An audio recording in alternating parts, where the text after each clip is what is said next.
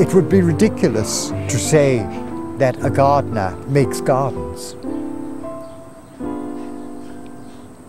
He makes them by being made a gardener.